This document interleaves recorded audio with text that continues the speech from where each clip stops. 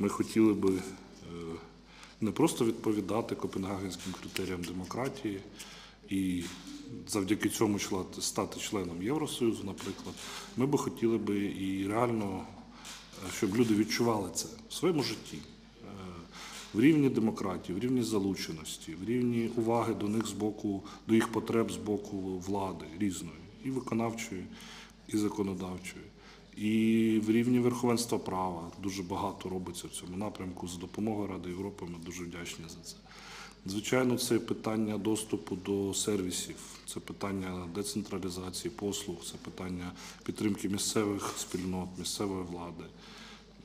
Також ми дуже вдячні вам за цю співпрацю. Це доступ до базових прав людини і, зокрема, прав свободи слова, інформації.